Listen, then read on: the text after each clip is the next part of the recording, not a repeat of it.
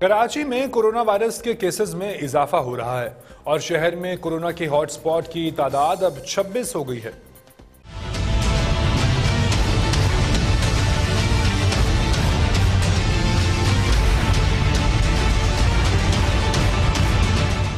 महकमा सेहत सिंध के मुताबिक कराची में कोरोना वायरस के फाल मरीजों की तादाद इस वक्त दो हज़ार एक सौ बासठ तक जा पहुँची है। फाल केसेस के अहल खाना और रबते में आने वाले अफराद के टेस्ट किए जा रहे हैं।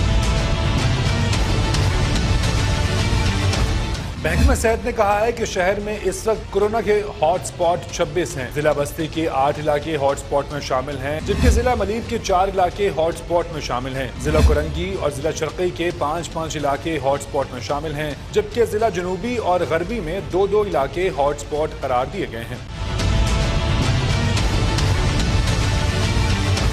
ख्याल रहे कि सिंध में कोरोना से मुतासर अफराद की तादाद एक लाख अड़तीस हज़ार पाँच सौ तिरानवे तक जा पहुँची है। वजर अला सिंध मुराद शाह के मुताबिक चौबीस घंटों में सिंध में कोरोना वायरस के मजीद दो सौ अट्ठानवे केसेज सामने आए हैं, जिनमें से एक सौ सत्तर का ताल्लुक कराची से है।